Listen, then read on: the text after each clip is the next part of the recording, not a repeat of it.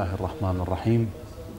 نستكمل معكم أعزائنا المشاهدين حوارنا مع السيد مصطفى الزلزلة في مسجد الوزان في دولة الكويت. السلام عليكم سيدنا. عليكم السلام ورحمة الله وبركاته. حياكم الله. نصور في هذا المسجد العامر مسجد أيوه. الوزان ما شاء الله. بعد ما شاء الله. في بيوت أذن الله أن ترفع ويذكر فيها اسمه نعم. بعد. شنو أحلى من كذي ما شاء الله سيدنا. نشوف حلقات القرآن نعم. تحفيظ القرآن. يعني يكون هني بشكل يومي بالمسجد؟ نعم بسم الله الرحمن الرحيم.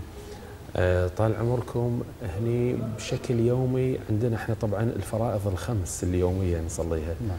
عن صلاة الفجر والظهر والعصر والمغرب والعشاء نصلي. بعد صلاة الفجر أكو درس قرآن درس تجويد ترتيل تصحيح القراءة كل يوم هذا بعد صلاة الفجر. فيما يتعلق بعد صلاة العشاءين فقط يوم الأربعاء ليلة الخميس. هذا بعد صلاة العشاءين في المسجد.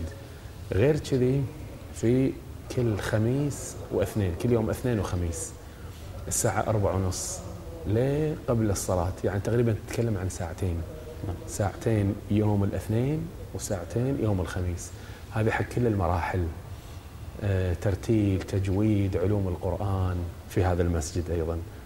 فالبرنامج القرآني ما شاء الله يعني بدينا فيه مع بداية آه، صلاتنا في المسجد. الحمد لله رب العالمين. طبعا سيدنا إحنا نعرف إن أنت إمام المسجد هذا. نعم. هل كنت تطمح لأن تكون إمام جماعة؟ يعني شهد الله وعلم ابدا. ولو أن عندنا أن الصلاة اماما أفضل من الصلاة مأمومة. زين واحد يدور الأفضل بس آه، الواحد هم يقول بحاجة إلى من يكون هناك. يحقق شرائط إمامة الجماعة بشكل أكثر. بس شفت الأخوة من آل الوزان وغيرهم قالوا بعد سيد نشوف فيك الخير ونشوف فيك العدالة وسامعين قراءتك وأنت بعد ابن البلد وسامعين محاضراتك مواضيعك نحتاج يعني سواء بالمسائل الفقهية أو في المسائل الاجتماعية أو في المسائل في العقيدة أو في المسائل بالتفسير والمسجد مو بس للصلاة هم فيها دروس دينية متنوعة في الفقه والعقيدة والأخلاق والتربية وإلى آخره. فبودنا يعني تستلم. فإما أن تقبل وإما أن أن تقبل. ماكو نعم. شيء اسمه هذا قلت والله غير شيء. خيارين نفس الشيء. إما أن تقبل وإما أن تقبل. فقلت لهم أفكر قال ماكو شيء اسمه تفكير قلت بعد غير شيء بعد هالحكم هذا. خلوني أشوف. والله وكلمتهم قلت لهم يعني أرجوكم تعذروني. إذا تحبوني تعذروني. فشفت كذا واحد منهم يعني من آل الوزان قال إذا تحبنا لا تشرط علينا هالشرط. استشرت والله أكثر من جهة إيش رأيكم؟ كم واحد من الأفاضل من العلماء أهل الفضيلة والعلم قالوا سيد وما شاء الله ما عليك قصور وكذا قلت لهم شو قال اي نعم روح لا ترد هذا الأمر وكذا استشرت كم واحد من أئمة المساجد إيش رأيكم؟ قالوا نصارحك التزام نعم. فإذا أنت على قد الالتزام قلت والله أنا لدي يعني أمور كثيرة وارتباطاتي وكذا قالوا بس لا تنسى يعني حسن ظن الناس فيك وأنت دائما نسمعك تتمثل بحكمة أمير المؤمنين سلام الله عليه. من ظن بك خيرا فصدق ظنه دائما نسمعك على المنابر تردد هذه الكلمة وأنت دائما تحلل هذه الكلمة العلوية أن هذا بمثابة تشجيع بمثابة أن إذا كنت أنت في مستوى عالي من الظن عند المؤمنين فأول شيء هذا تشجيع لك ورقم اثنين إنك تكون أحسن من الظن اللي قاعد يظنونه فيك وهذه الدعوة اللي المتقين يدعون ربهم اللهم اجعلنا أفضل مما يظنون. نعم. إنه مو بس الظن الخير أفضل ما يظنون. فبالنتيجة بعد بدينا طال عمركم من أول السنة الميلاديه هو ما كان متكامل. طبعا من داخل متكامل بس من برا باعتبار المواقف وكذا. أهل المنطقة هني غرب مشرف قالوا إن بدام داخل متهيئ خلوا يعني نصلي وكذا لأنه برا برا يحلها. إن شاء الله الله تبارك وتعالى فيما بعد. والحين إحنا نتكلم والحين إحنا بشهر يعني تدري يعني كم نعم. شهر الحين صار لنا. أكثر من خمسة أشهر. وصار وتهيئ المكان بحمد الله ويا أهل المنطقة تدري بعد محتاجين. قالوا أنتم تقولون لا صلاة الجار المسجد إلا في المسجد. لا تحرمونا من الصلاة خلونا إني وكذا. وبحمد الله قاموا يون من المنطقة وغير لأن المنطقة كانت تحتاج يعني حقيقة. ويون أيضا من غير المنطقة يعني من جنوب السرة الزهراء حطين السلام آه، بالإضافة طال والشهداء آه، منطقة بيان منطقة سلوى القرين صباح السالم أيون وغير هالمناطق يحضرون. حتى في المعرض هنا معرض الكتاب معرض ال- المعرض الدولي موجود هنا تدري يصير معرض كتاب معرض عطور معرض إكسسوارات كل شيء يصير معرض سيارات كل شيء. فأيون والله. يعني شيعة وسنة هم يحضرون في هذا المكان. ممتاز. يصلون هني موجود الحمد لله رب العالمين. وقلت لكم تقام فيه الفرائض فريضة ال- الصبح الظهر العصر المغرب والعشاء. ويوم الجمعة عندنا خطبة. بعد صلاة الظهر من يوم الجمعة بين الصلاتين خطبة تقريبا نص ساعة. طبعا يوم الجمعة شوي في نكهة خاصة هني. صح. كثير منهم يقولون يقولون برنامجكم حلو أنتم في جامع الوزان البداية الأذان بعد الأذان تقريبا ربع ساعة قرآن كريم. ميرزا عبد الله ال- ابن أختي. ما شاء الله هو حافظ القرآن ومعلم القرآن.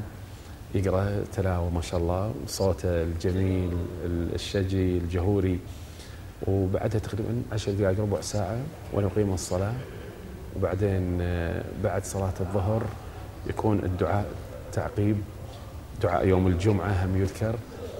وبعدها خطبة وبعد الخطبة صلاة العصر وبعد صلاة العصر زيارة الإمام سيد الشهداء سلام الله عليه. وزيارة الإمام الحج عجل الله تعالى فرج الشريف باعتبار يوم الجمعة يومه بعد. صحيح. وهذا يوم الجمعة وهو يومك المتوقع فيه ظهورك والفرج فيه المؤمنين على يديك. نعم. والحمد لله رب العالمين. يعني هذا تقريبا يوم الجمعة بالليل بعد ماكو خطبة بين المغرب والعشاء. بين المغرب والعشاء تقريبا نعطيهم عشر دقائق إلى ربع ساعة. من يوم السبت إلى يوم الخميس. هذا كل يوم. وليلة الجمعة دعاء كميل وزيارة الإمام الحسين سلام الله عليه. يوم الجمعة باعتبار أن أكو خطبة بين الظهر والعصر بعد بالليل نريحهم ماكو خطبة بين المغرب والعشاء. لاحظنا يا سماحة السيد في خطبة كانت بين آه، صلاة نعم. المغرب والعشاء. هل معتاد يعني؟ معتاد اي نعم اي معتادة هذه كل يعني دائما بين الصلاتين أخطب. وطبعا مبوب أنا الدروس اللي أعطيها. باعتبار تدري أن الحضور في المساجد يعني أكو صلاة قبلها وضوء وغسل تيمم الطهارة المائية الترابية أحكام عملية سواء في العبادات أو في المعاملات فأكثر شيء الأمور الفقهية. فأنا رتبتها يوم السبت طبعا هذا بين المغرب والعشاء. وقلت لكم من عشر دقائق إلى ربع ساعة ما نكثر يوم السبت مسائل شرعية. يوم الأحد اللي هو عبارة عن درس أخلاقي. يوم الاثنين مسائل شرعية. يوم الثلاثاء آية قرآنية واستفادة بعض النقاط والدروس من الآية. يوم الاربعاء مسائل شرعية. يوم الخميس بحث دعائي عرفاني روحاني باعتبار ليلة الجمعة ليلة دعاء تهيئة لدعاء كميل وزيارة الإمام الحسين سلام الله عليه. يبقى شيء المناسبات أراعيها. يعني إذا كانت الليلة ليلة مثلا وفاة أحد المعصومين عليهم السلام أو مناسبة لأحد المعصومين عليهم السلام نذكرها. يعني الدرس نخليه على جانب نذكره فيما بعد ونحيي ذكر المعصوم سواء في الولادة أم في الوفاة. نعم. نعم هذا البرنامج تقريبا صوره إجمالية. آه، سماحة السيد خطبكم في المجالس والحسينيات عادة ما تتكلم عن الظروف المعاصرة التي يمر بها المجتمع. فهل تحرص في خطبكم على متابعة أحوال المجتمع وأحوال الشباب؟ نعم؟ نعم نعم طال عمركم. يعني الشباب تدري بعد عصب المجتمع. وفي الحديث النبوي حالفني الشباب وخالفني الشيوخ. عندنا فقه الشباب وأنا ذات مرة في أكثر من محاضرة تكلمت أصلا عن طموح الشباب قلت يعني أقترح أن نسوي لهم برلمان الشباب ومن كافة الأطياف كلهم سنة شيعة بدو حضر برلمان لهم. تكون يعني من أعمار معينة يكون لهم ديوان تكون لهم رحلة الشباب يكون لهم عمل مسرحي إعلامي. زين آه، متطلباتهم واحد ممثل عنهم مثلا يرفع المتطلبات بس بشكل مدروس. هذه كلها أمور نظرية إحنا نتكلم عنها بشكل مدروس مهم جدا. فتدري يعني والشباب تجد منهم الصالحين وتجد منهم الفاسدين. الصالح هم بوده يكون أصلح ويمر بعقبات وعوائق. الفاسد المنحرف من الانحرافه إما من بيئته اللي عايش فيها في البيت أو برا مع ربعه أو مثلا من ال- الظروف وين ما كان. أو الفراغ اللي يعيش منه ما يدري شنو يسوي. تدري في الحديث أن الله آه، يبغض النومه العبد النوام ويبغض العبد الفارغ لأن الفراغ وخاصة الشاب مصيبة. الإمام الحجة عجل الله تعالى فرج الشريف في دعاء الفرج يقول وتفضل على شبابنا بالإنابة والتوبة. ليش ركز عليهم؟ لأن طبقة تصدر منهم المعاصي إذا ما كانوا مضبوطين وموجهين مصيبة. فبحاجة إلى من يسمع متطلباتهم مقترحاتهم مشاكلهم آه، توفير الحلول لمشاكلهم والحلول البديلة لمشاكلهم. الشباب طاقة يعني ممكن الواحد يتبناهم يعيد تأهيل كثير منهم. آه، مراكز تدريبية يسوي لهم. تدري كل واحد عنده قدرة. اللي عنده قدرة على أنه يمثل مثلا. هذا هم استوعبه. خليه يكون تمثيل هادف. أحيانا العمل المسرحي الفيلم مثلا إذا كان هادف يؤثر أكثر من الخطب. إذا كان مدروس ووفق أسس. آه، أحيانا مثلا عنده قدرة على أن يصلح سيارة أتبناه شيء جميل. عنده قدرة على أن يكتب مقال على أن يخطب على أن يساهم يشارك. أحيانا واحد عنده قدرة على مشروع فردي أحيانا على المشروع آه، في الشراكة المساهمة يكون فيه. فهذا أحرص. أقرأ الأخبار المحلية. شنو من أخبار محلية موجودة في البلد يعني عندنا؟ أقرأ الأخبار أيضا العربية والإسلامية والإقليمية والدولية. أحرص أن أشوف شنو المجتمع تدري في زمن معين مثلا مرة تكلموا هني على المستوى المحلي الخصخصة في اللي أيدوا وفي اللي عارضوا كثير منهم ما كانوا يعرفون الخصخصة. قلنا بدال لا تصير حالة التكاثر من المؤيدين المعارضين كان زين يكون إعلام واضح يطلعون النواب مثلا يعطونهم مجال ويخلون الناس توجهون بطريقة دعائية قوية إن والله ترى عشان تفهمون خصخصة ولا تعارضون مني والطريق أو تأيدون مني والطريق لابد إنكم تسمعون في المحطة الفضائية المحلية سواء الحكومية أم غيرها يعني. نعم. أو مثلا تقرون الجريدة يصير إعلان قوي. لأن أقول لك ليومك هذا ما يعرفون شو كثير منهم. زين مو بس مجرد والله تحويل من قطاع حكومي لقطاع مثلا خاص من قطاع عام لقطاع خاص. أكو لها في حاطين لها قوانين حاطين لها أمور. فيت هذه فترة تتكلم عنها. فترة ثانية قامت آه، مثلا راحت هذه. يد فترة عقبها قاعد تتكلم عن انتشار مثلا مرض معين. إنفلونزا الخنازير وإنفلونزا والناس ما بين خائفه أثر على الحج نروح ولا ما نروح الاختلاط ما أدري شنو. تدري حدث يعني يصير لك تتكلم. أحيانا يصير له حدث إقليمي. حرب ممكن تقوم وكذا. موازنات سياسية متلخبطة.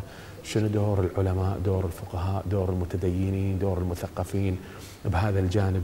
هل هم يكونون في جانب والحالة السياسية العامة اللي قاعد تدخل في الأوساط يتركونها في جانب آخر؟ فأمثال هذه الأمور نعطيها الصبغة يعني وشلون نوجه الناس صوبهم. فأحيط علما في كافة المواضيع السياسية الاقتصادية الاجتماعية التربوية. المناهج مناهج مثلا التربية الإسلامية وغيرها الموجودة في الوزارة نتابعها نشوفها إذا كانت يعني مناسبة مع كافة الشرائح لأن تدري مو بس مذهب واحد هني عندك أكثر من مذهب موجود. هل بالفعل آه، تناسب الكل ولا يعيش الطالب حالة ازدواجية بين البيت وبين المدرسة بين المعتقد الذي يعتقد ويدين الله تبارك وتعالى به وبين ما يدرسه؟ أمثال هذه الأمور طبعا نتناولها. بشكل آه، يعني واضح ودقيق وأضع بصماتي عليها وأذكر الأوجه والاقتراحات فما تخلو الخطب. يعني من أشياء عامة موجودة مثل احترام المواقيت والعهود والمواعيد واحترام مثل والإحسان إلى الوالدين وصلة الأرحام ووضع اليد على بعض الأمراض الاجتماعية قطيعة الأرحام آه، مثلا عقوق الوالدين وجودهم في دار العجزة وكذا والى آخره. أو القضايا اللي تمر بشكل طارئ أيضا هم نعالجها مثلا شيء طارئ في مر وكذا إعلان في جريدة أو منشورات موجودة هذه من شأنها إنها تمزق المجتمع هم نعالجها نحاول نهدئ الأوضاع ونبين شنو الوجهة الصحيحة اللي تكون عليها نعم. إيه؟ أه سمعت سيد بما إحنا قاعد نتكلم عن الشباب ما فكرتوا في مشروع تهيئة الشباب إلى الخطابة؟ طال عمركم بلى حتى أذكر مرة من المرات ومن زمان هذا أكثر من يعني أقول لك يمكن ب 92 أو 93 يعني تتكلم عن 17 أو 18 سنة. ما من حسينية كنت أروح لها إلا وكنت أقول حق أصحاب الحسينية موجودين الرواد. وتدري الحسينية أحيانا واحد يتبناها وأحيانا أكثر من عائلة يتبنونها يعني مساهمين فيها. كنت أقول يحتاج إحنا انه يكون عندنا في كل بيت يعني واحد على الأقل يهيئ ومستعدين إحنا نسوي مدرسة ونسوي منهجية للخطاب. والخطاب يعني تدري أكو خطاب كان نمطي تقليدي موجود وهو الأساس وهو المطلوب طبعا هذا. زين انه يعني آه، حالة آه، المراثي الموجودة الشعر البكاء الشعر الحزين يعني مراثي الإمام سيد الشهداء عليه السلام والبكاء وربط الإمام الحسين بالعاطفة من أجل أن يتحول الإنسان إلى أخذ الأهداف والفوائد من ثورته المباركة. في طبعا بهالأيام هذه العلوم تعددت وتنوعت بحاجة إلى أن نحافظ على هذا النهج وهذا المستوى نفسه بس بأسلوب هم تستعمل فيه بعض الأدوات والآلات الموجودة، يعني في يومك هذا مثلا الحين أفتكر قليل اللي ما يتعاطى مع الإنترنت والكمبيوتر وكذا وجوجل كموقع. فالواحد بالأثناء مثلا يذكر إذا كانت مثلا قبل بس الكتب الحين لا.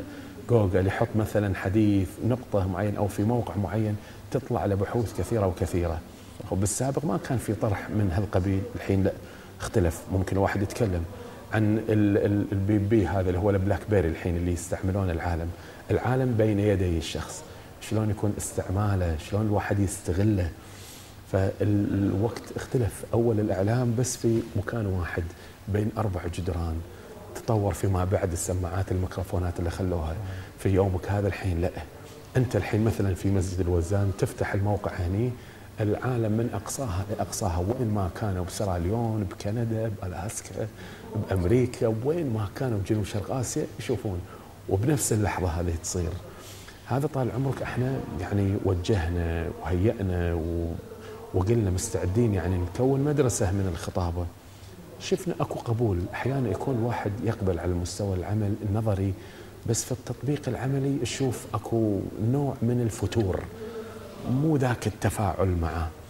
وبعدين إحنا هم ذكرنا قلنا يعني الساحة هم تحتاج إلى يعني خطباء من نفس البلد. الحين اللي يون وعلى العين وعلى الرأس كلهم طبعا اللي الاخوه اللي من خارج الكويت ويون ويخدمون المنبر منبر سيد الشهداء عليه السلام. بس يبقى يعني فترة معينة ويرجعون بلدهم وكذا.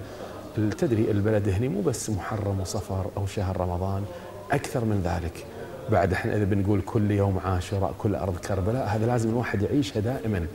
يعيشها الحالة، المشاكل مو بس صايرة في فترة معينة موسم محرم صفر شهر رمضان، لا المشاكل تطلع. وليدة لحظات مشكلة اجتماعية من عادات من تقاليد. واحد مثلا يشيع له شغلة معينة الناس يتعاطون معاها.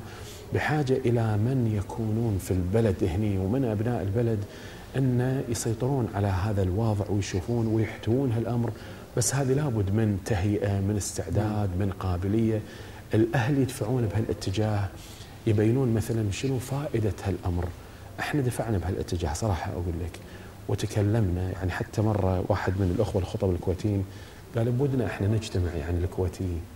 الخطبه قبل شهر محرم ننسق فيما بيناتنا مثلا شنو المواضيع اللي لازم تطرح؟ اللي يجب أن تطرح؟ ينبغي أن تطرح؟ مثلا القضايا الاجتماعية الأمور في العقيدة في الفقه. ما نحتاجه لأن مثل ما ذكرنا الإمام الحسين عليه السلام عبره وعبره عقل وعاطفة ثورة وثروة معين لا ينضب أبدا. وكل واحد اي وحاط مثلا شغلة معينة يبي مثلا التكنولوجيا وأثرها. الإيجابي والسلبي. الواحد اللي مو مطلع على هالأمور ما يقدر يعني يتعاطى معاه. حتى لو بشكل إجمالي كذي مرور يمر عليه. واللي يهون المنبر كل واحد بباله شيء معين. يمكن مثلا هذا الخطيب الحين يتطرق إلى هالمشكلة الاجتماعية المحلية. كثرة الطلاق مثلا. ليش كثرة الطلاق إيش حقه؟ سوء تربية الأولاد إيش حقه؟ ليش في أولاد عنيفين شرسين مع آبائهم وأمهاتهم؟ عندنا إحنا بالمجتمع هني هذا أمر موجود. ليش قاعد تكثر حالة مثلا الإدمان إدمان المخدرات؟ ليش؟ ليش قاعدة تصير حالة مثلا يروحون يتعدون على مثلا آه، المخافر؟ إذا والله مثلا الضباط يضربون الشرطة يضرب هذه حالة قاعد البعض قاعد يحاول يروجها. معناته انعدام الأمن. إذا الواحد ما ينهض كل واحد من مسؤوليته من مكانه. مثلا الوزراء النواب المعنيون القانونيون التربويين الخطباء العلماء كل واحد لأن كلكم راع وكلكم مسؤول عن رعيته. راح تشوف فلتان راح يصير هني. لما الناس يشوفون أكو تكاتف وتضافر جهود من أكثر من موقع قانوني تربوي وزير وكيل معلم خطيب عالم يقولون إن هذا مطلب إن الكل رايح بهالاتجاه.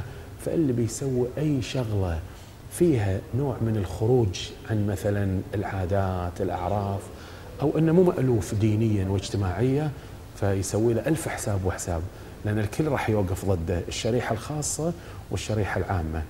فطال عمرك هذا كان مجهود موجود بس وفي في طبعا قاعد أشوف نشأ ما شاء الله قاعد يطلعون بس بحاجة إلى تهيئة أكثر وبحاجة إلى عدد أكثر مو بس مجرد إن عدد أكثر خطابه وخطيب لا مهيئ بحيث إذا كان على المنبر يقدر يعطي للمنبر حقه.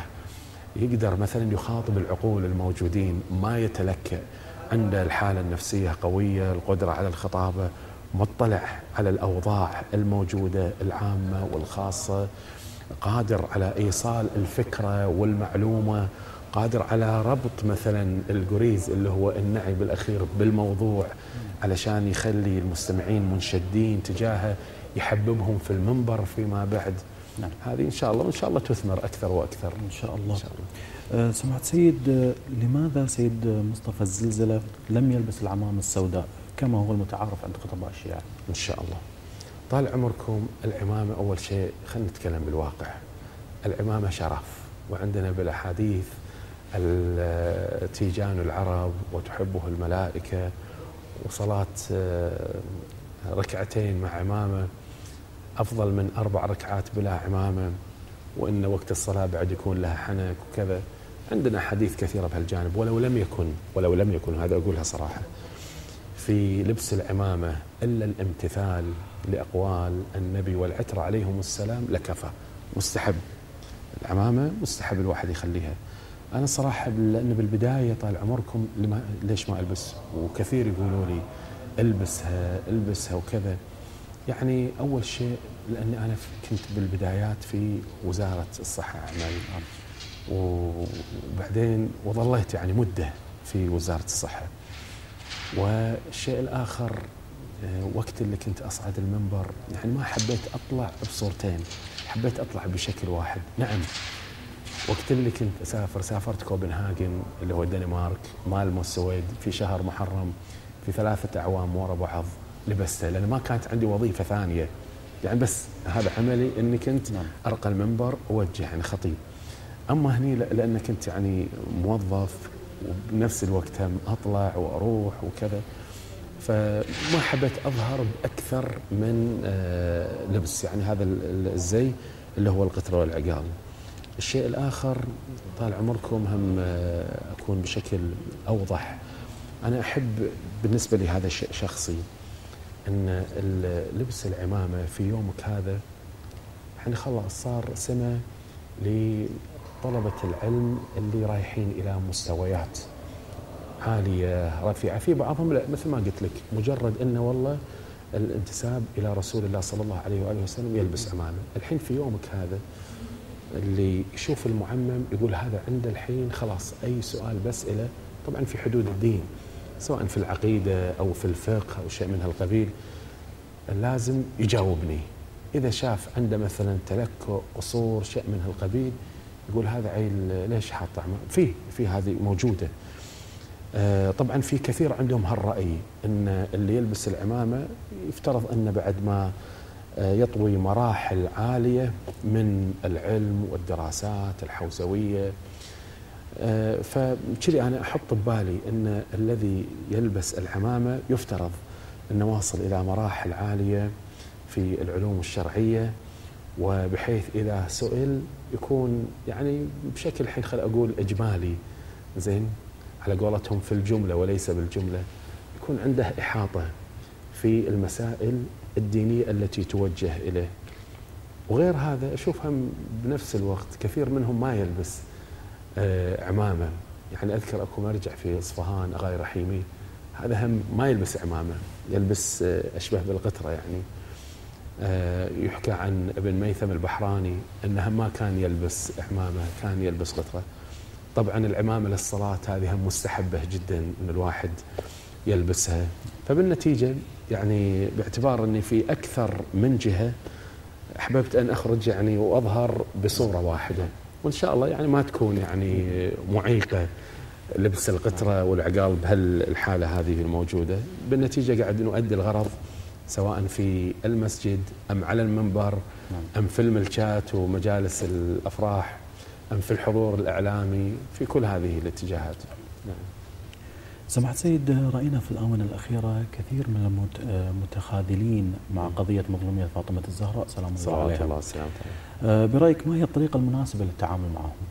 مع المتخاذلين نعم. في قضية الزهراء نعم. سلام الله عليها ينقصون من القدر والمصيبة أي في مسألة الزهراء فاطمة سلام الله عليها القضية اللي تذكر يعني ذاكرينها إنها قضية تاريخية وهذه القضية التاريخية شوف الناس شلون يتعاطون معاها.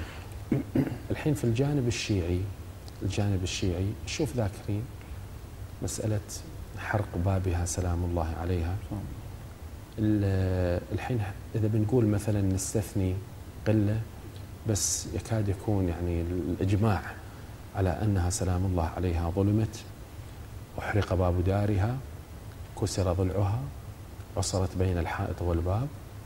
وتكاد تكون أصلا في آه، الثقافة الشيعية هذه بعد حتى في المراثي خلاص منتشرة وواضحة تعاطي مع المظلومية. وهناك أيضا مؤشر لاحتمال هذه المظلومية وليست فقط هذه من آه، كتب الشيعة حتى في كتب غير الشيعة. يعني ابن قتيبة الدينور أيضا ذاكر إن في البيت فاطمة فأجاب وإن.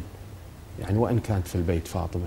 حتى البعض يقول يقول هذا أصلا بروحه يبرر أنه يعني من قال هذا الكلام وإن يعني مستعد أن يحرق وأن يتجاوز ويتعدى.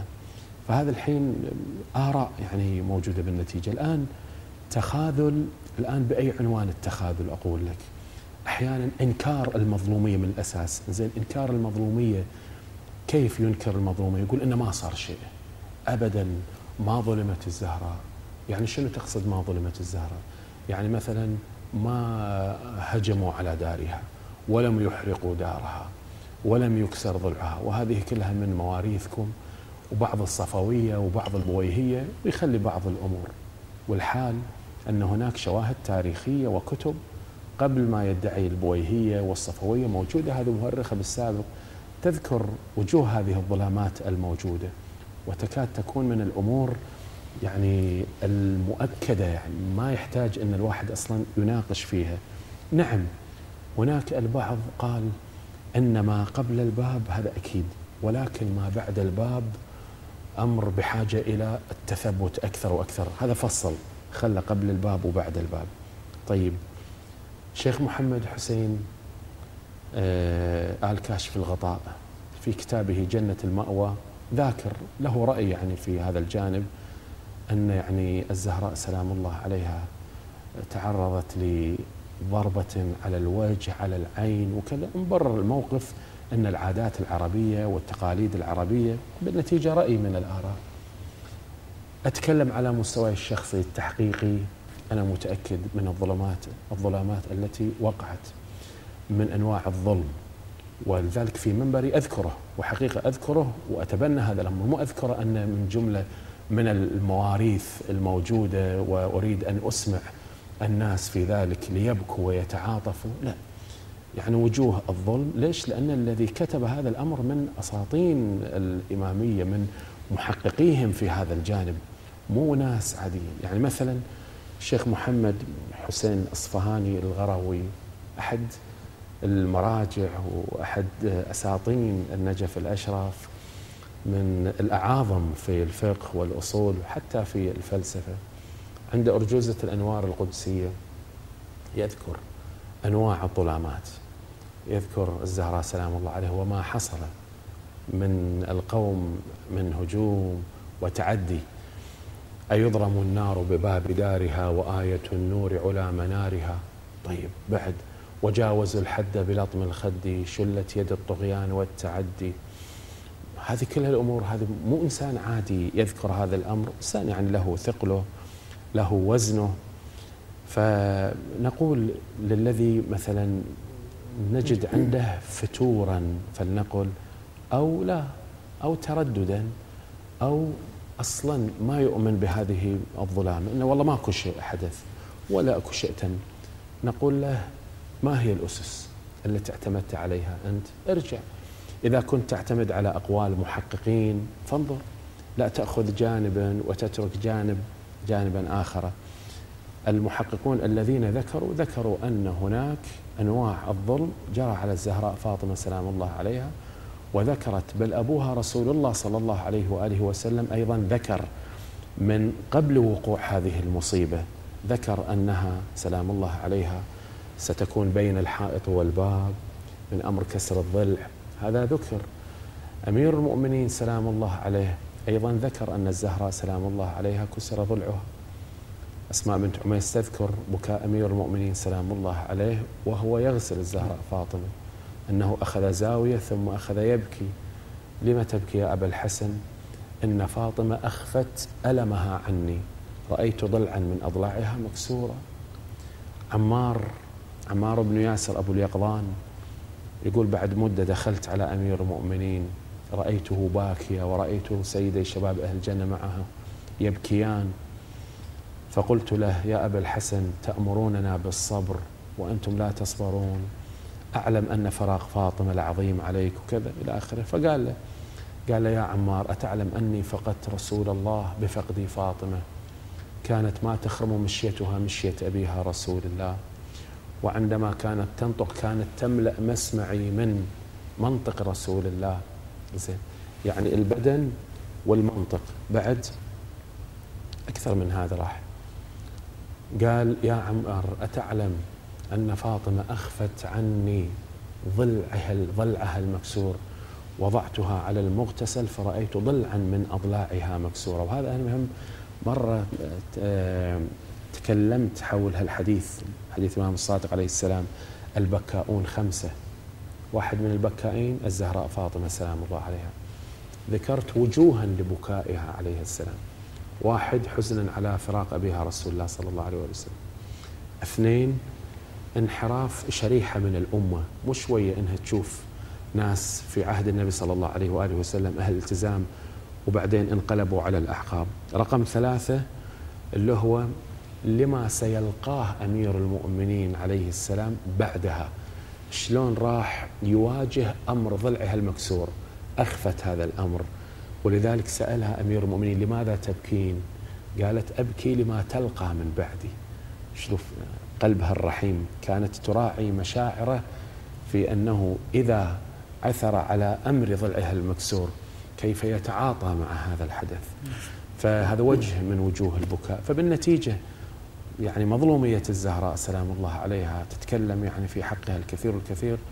ولو لم يصنع ما صنع بالزهراء فاطمة من تعدي على أهل بيت النبي بعد رحيل رسول الله صلى الله عليه وآله وسلم ما كانت هذه الأمور في كربلاء تحدث ها؟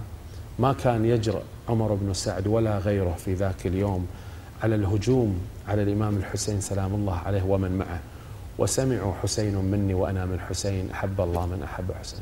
وصايا القرآن وصايا النبي في العترة الطاهرة يعرفونها.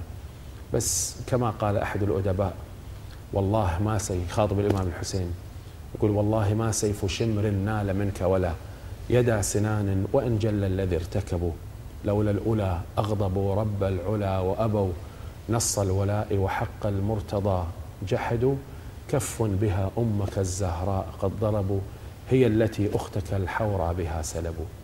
ولذلك في الزيارة زيارة الإمام الحسين سلام الله عليه نقرأ آه، في شأن الممهدين لعن الله الممهدين لهم بالتمكين من قتالكم. فالمسألة يعني خب تذكر أن هناك هجوما وأنواع من الظلم رأته الزهراء فاطمة سلام الله عليها وهي وجوه عديدة. فيعني الواقع بحاجة من ينكر أصل مظلومية الزهراء سلام الله عليها. أصل المظلومية نقول له ارجع وتحقق.